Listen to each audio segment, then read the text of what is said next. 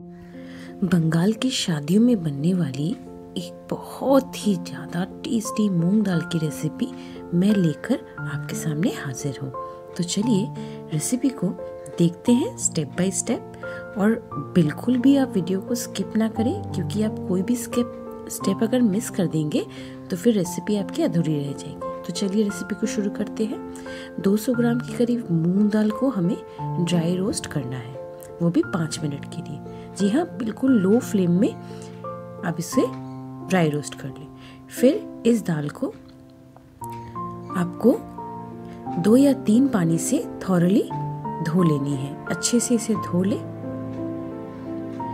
क्योंकि दाल में काफ़ी गंदगी रहती है, सारी निकल जाएगी। दो से तीन पानी से धोने के बाद इस दाल को पानी में भिगो के 10 से 15 मिनट के लिए सोख करने के लिए रख दें।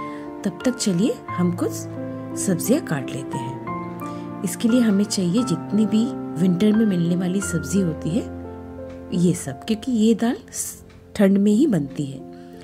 देख लीजिए, सारी सब्जियों को हमें बिल्कुल एक ही साइज़ में क्यूब्स में काट लेना है। उसके साथ अदरक, लहसुन और हरी मिर्च को भी हमें ले लेना है। तो चलिए, अब फ्राई करने के प्रोसेस में चलते हैं। कढ़ाई में चार से पाँच टेबल स्पून के करीब आप सरसों का तेल यूज़ करें। अगर आप सरसों का तेल नहीं खाते हैं तो ये पूरा प्रोसेस आप देसी घी के साथ भी कर सकते हैं, लेकिन बिल्कुल भी रिफाइंड ऑयल का यूज़ ना करें। तड़का देने के बाद एक एक करके हमको सारी वेजिटेबल्स को फ्राई करनी है। सबसे पहले हम गाजर और प्याज को डालेंगे, क्योंकि इसे फ्राई होने में थोड़ा ज़्यादा वक्त लगता है, इसलिए इसे सबसे पहले डालेंगे। गाजर और प्याज को फ्राई करने के बाद फिर हम इसमें डालेंगे छोटे कटे हुए गोभी।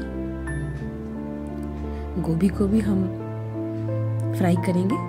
इसीलिए सारी सब्जियों को एक ही साइज़ में काटनी बहुत ज़रूरी है। गोभी के बाद जो अदरक, लहसुन और हरी मिर्च हमने लिया था, इसे हमें खल्लड़ में कूट के इसमें डालनी है। जी हाँ कूट के डालने से बहुत अच्छा टेस्ट आता है। इस मसाले को भी तेल के साथ भून ले। जो भी सब्ज़ी आप डाल रहे हैं एक से दो, दो मिनट तक कम से कम उसे भून ले। अब हम इसमें डालनी है हरे हरे मटर। बिल्कुल ताज़े मटर होते हैं जो ठंड में बहुत ही अच्छे मिलते हैं बाज़ार में। इसे भी आप भून ले। अब हमें डालनी है capsicum.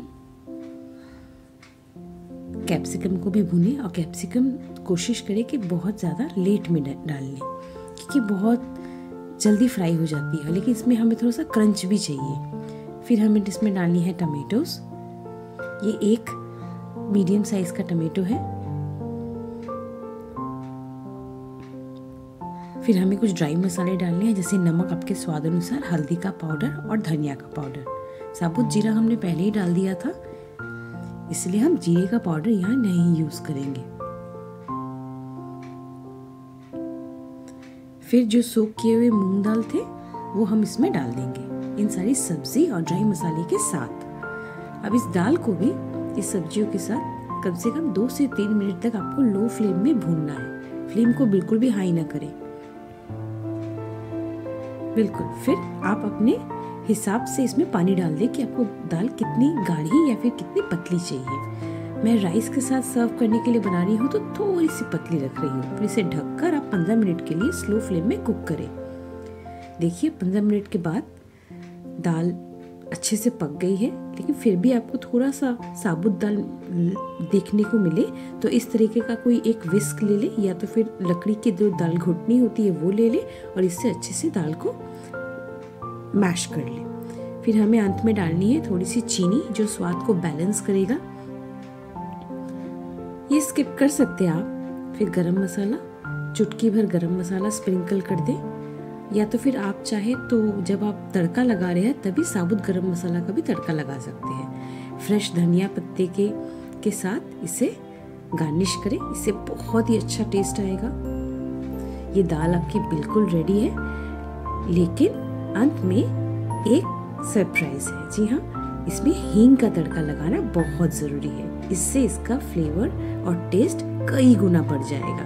Thank you so much please subscribe and like the video thank you